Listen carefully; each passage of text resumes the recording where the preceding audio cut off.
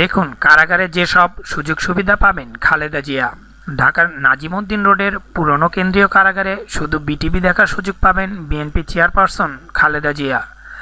পড়ার জন্য তাকে তিনটি পত্রিকা দেওয়া হবে। সাধারণ বন্দী হিসেবে কারাগারে ঠাঁই হয়েছে খালেদা জিয়ার। কারা কর্তৃপক্ষ বলছে, ডিভিশনের কাগজ পাওয়ার পর এখান থেকে তাকে স্থানান্তর করা হবে।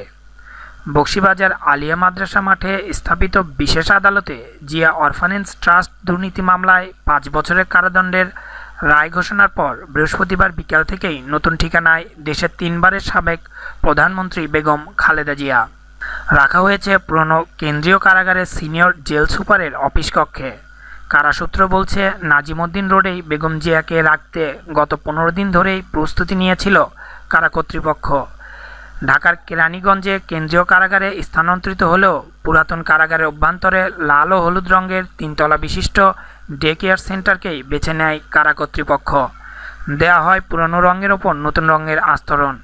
জেল কোড অনুসারে ভিআইপি বন্দি রাখার জন্য ডে কেয়ার সেন্টারের দ্বিতীয় তলার সিঁড়ির ডান পাশের দুটি কক্ষে লাগানো হয় নতুন টাইলস, সিলিং ফ্যান, হাইকমোড।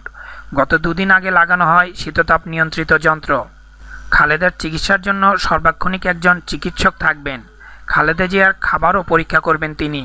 তাকে একটি পুরনো ফ্রিজ দেওয়া হয়েছে ও পাশের রুমে গ্যাসের চুলায় রান্নার ব্যবস্থা করা হয়েছে। গত কিছুদিন ধরে বিশেষ নিরাপত্তার জোরদার করা হয় পুরাতন কেন্দ্রীয় কারাগার এলাকায়। সাদা পোশাকের দায়িত্ব পালন করছিলেন বিভিন্ন সংস্থার সদস্যরা। গত বুধবার কারাগারের আশেপাশে নতুন করে সিসি ক্যামেরা বসানো হয়েছে। এছাড়া বৃহস্পতিবার থেকে ওই এলাকায় জনসাধারণের চলাচলেও কড়াকড়ি করা হচ্ছে। কারাগারের চারদিকে আইন শৃঙ্খলা রক্ষাকারী বাহিনীর টহল ও অবস্থান জোরদার করা হয়েছে। কারাসূত্র বলছে, নাজিমুদ্দিন রোডের পুরনো কারাগারে নেওয়ার পর প্রথমে খালেদা জিয়াকে নিয়ে যাওয়া হয় জেল সুপারের পুরনো অফিস কক্ষে। এ সময় খুব বিমর্ষ অবস্থায় ছিলেন তিনি। কারও সঙ্গে কোনো কথা বলেননি।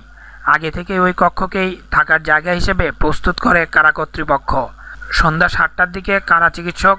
ডক্টর মাহমুদুল হাসান, বিএনপি চেয়ারপারসনের স্বাস্থ্য পরীক্ষা করেন। জেল কোড অনুযায়ী খালেদা জিয়াকে রাতের খাবার দেওয়া হয়েছে ভাত, মাছ, সবজি এবং ডাল। সকালে দেওয়া হবে রুটি, সবজি।